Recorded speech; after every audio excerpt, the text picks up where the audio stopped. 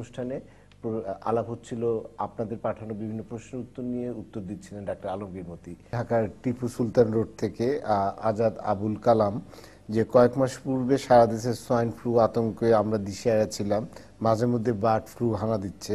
তার কিছুদিন পরে অ্যানথ্রাক্স রোগ মহামারী আকার ধারণ করল। সচেতন মানুষ বলতে সকলেই জানে যে এই রোগগুলো মূলত পশু পাখির। আপনার কাছে আমার প্রশ্ন, এই পশু পাখির পশু পাখির রোগ মানুষের মধ্যে হচ্ছে কেন? না, পশু পাখির রোগ মানুষের মধ্যে হচ্ছে যে, ওই ধরনের পশু পাখি তো আমরা খুব বেশি করে খাচ্ছি। আমরা যদি গরু খাই, তা গরুর যদি অ্যান্থ্রেস হয়, তাহলে আমাদের হতে পারে। এটা কোনো অসম্ভব কিছু না। তো ওই ধরনের পশু পাখি আমাদেরকে খাওয়া থেকে একটু বিরত হতে হবে। আরেকটা কথা হচ্ছে কি, যে আমরা যে পশু পাখি খাই, আমরা কি গরু পালি এখন? গরু তো ভদ্রলোকে এখন গরু পালতে চায় না। বলল যে গরু পাললে তাদের বাড়িতে ভদ্রলোকরা আসে না, মেয়ে বিয়ে দিতে পারবে না, ছেলে বিয়ে দিতে পারবে না। এই যে যে আমাদের বাজে ধরনের কোনো কিছু ইগু আইসা গেছে, যার জন্য এখন গ্রামে গেলে কোনো ভালো বাড়িতে আর গরু পালে না। কিন্তু প্রতিদিন গরুর মাংস দশ কেজি বাজার থেকে নিয়ে আসে। গরুর দুধ খায়, মাংস খায়, কিন্তু গরু নিজের বাড়িতে কেউ পালতে রাজি অতএব গরু খেলে আপনি গরু নিজে পালেন কষ্ট করেন সেই গরুটা খান কিন্তু অন্যে পালবো। আপনার পার্শ্ববর্তী দেশের থেকে গরু আসবে সেই গরু আপনি খাবেন তাহলে তো আপনার এই সোয়ান ফলু বার্ড ফলু অ্যানথ্রেস এই জাতীয় রোগ আসবেই তো বাইরের থেকে নিয়ে আসে। আমার দেশের মুরগির বাচ্চা ছোট্ট ছোট্ট মুরগির বাচ্চা আমাকে দেশে হইতে পারে এগুলো আবার বিদেশ থেকে ইম্পোর্ট করা লাগে। কেন আমরা বিদেশ থেকে মুরগির বাচ্চা আনব? তো বিদেশ থেকে মুরগির বাচ্চা আনলে বিদেশি ব্রিড আমাদের ব্রিড তো মিলবে না। দেখো আপনার যদি বিদেশ থেকে বিদেশি গরু আনেন সে গরু আমাদের আবহাওয়ায় অভ্যস্ত হয় না। এজন্য বিভিন্ন অসুখ হয়ে যায়। দেখবেন অনেক মায়েরা ইউরোপ আমেরিকা থেকে বাচ্চা নিয়ে যখন দেশে আসে তখন বাচ্চাদের বিভিন্ন রোগ হয়। হাজারো রকম প্রতিরোধক সৃষ্টি করেও পারে না। কারণ ওই বাচ্চাটার জন্ম হয়েছে ওই মাটিতে ও ওই মাটিতে অভ্যস্ত। ও এই মাটিতে আইসা কিন্তু তার কিছুটা সমস্যার সৃষ্টি হইতেছে। আবহাওয়ায় সমস্যা হইতেছে আমাদের আবহাওয়ার ভিতরে মোর্চার কন্টেস্ট বেশি অতএব এটা সমস্যার সৃষ্টি করতেছে। নতুন নতুন ভাইরাস নতুন নতুন ভাইরাস ব্যাকটেরিয়া বাচ্চারা মানে যারা যেসব মায়েরা দুই তিন চার বছরের বাচ্চা নিয়ে আসেন অনেক বড় সমস্যায় ফেস করেন। প্রথমত দুই চার দিন যা- বাদ যায় এরপরে থেকেই আরম্ভ হয়ে যায় গা। আহ, তাদেরও প্রতিরোধ ক্ষমতা তখন সামাল দিতে পারে না।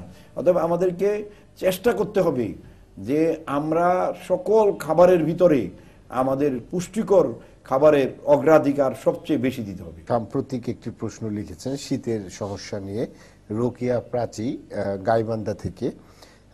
প্রশ্ন হচ্ছে যে এবার মনে হচ্ছে শীতের তীব্রতা একটু বেশি। আমরা যারা প্রাপ্তবয়স্ক তারা প্রতিদিন গোসলের সময় হিমালয় জয়ের অভিজ্ঞতা অর্জন করি।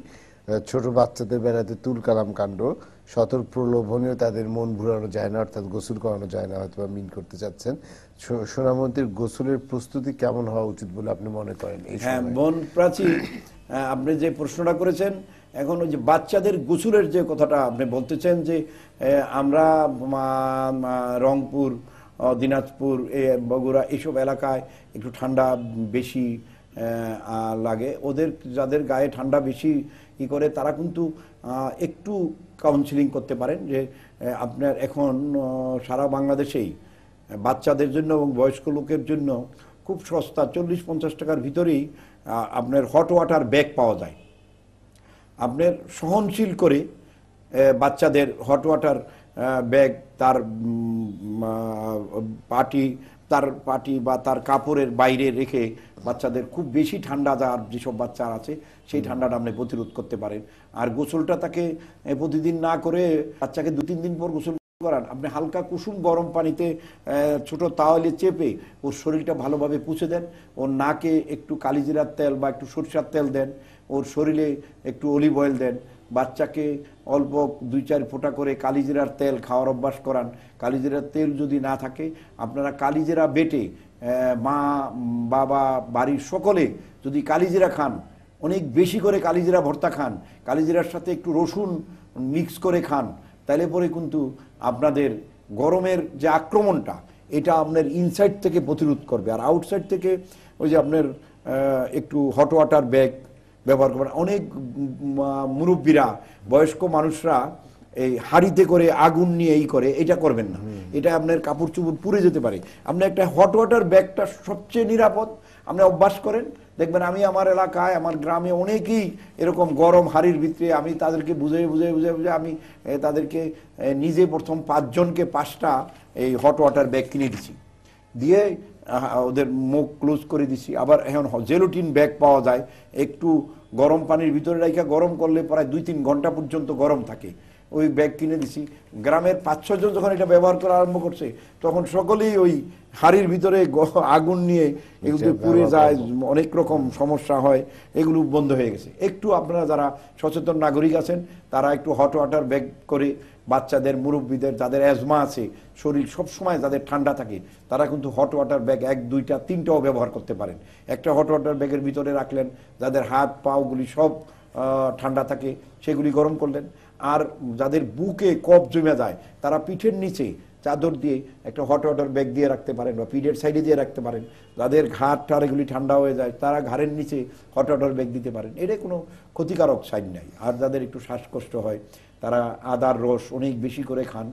তারা লবঙ্গ খান বেশি করে, তারা কালিজিরা অনেক বেশি খান, তারা রসুন, পেঁয়াজ, গরম জিনিস বেশি খান, তাহলেই আপনার এই গরমকে আপনি প্রতিরোধ করতে পারবেন। একটা এখন কনকনে ঠান্ডা আবহাওয়া, আপনি তার বিরুদ্ধে তো আপনাকে সংঘবদ্ধ আন্দোলন করতে হবে, তার বিরুদ্ধে রুখে দাঁড়াতে হবে, কারণ সে আপনার শরীরকে অসু- অসুস্থ করে দিচ্ছে। সুস্থ থাকার জন্য আমাদেরকে সকলকে মিলে একত্রিতভাবে সমন্বিত প্রতিরোধ গড়ে তুলতে হবে। তাইলেই আমরা এই গরম আর আমাদের কাছে ভয়ের কিছু হবে না। চেষ্টা করেন। দেখেন আমি যে কথাগুলো বললাম, গরম জিনিস খান, গরম পানি খান, গরম পানি আপনার হট ওয়াটার বেগে ভরে আপনার ইতে রাখেন। এখন হয়তো দেখা গেল প্রত্যন্ত অঞ্চলে সেই লোকের কাছে ই নাই। একটা হট ওয়াটার ব্যাগ তার কাছে কল্পনা মাত্র। সে কিন্তু প্লাস্টিকের ব্যাগ চারি পরত নিবেন মানে চারটা প্লাস্টিকের ব্যাগ নিবেন, নিয়ে ওটার মধ্যে গরম পানি ঢুকাবেন। ঢুকাইয়ে মুখটাকে খুব ভালো করে উল্টা করে বাঁধবেন, অথবা মুখটা একদম পুরে সিল করে দিবেন। দিয়ে ওই গরম পানিটা আপনি রাতে আপনার পিঠের নিচে বা বুকের নিচে দিয়ে আপনি ঘুমান, দেখবেন যে সারা রাত্র আপনার বুকটা নিশ্চিন্তে গরম থাকবে। ধন্যবাদ একটা আলমগীরমতি স্টুডিওতে আসার জন্য, এবং আশা করি যে আগামী অনুষ্ঠানেও আপনার উপস্থিত আমরা কামনা করছি। দর্শক এই সঙ্গে শেষ হলো আজকে আমাদের অনুষ্ঠান।